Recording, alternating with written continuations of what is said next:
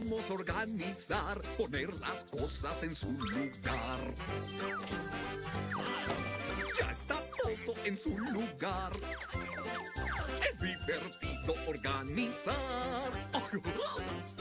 ¡Hurra! Separamos todas las cosas, porque somos buenos para separar.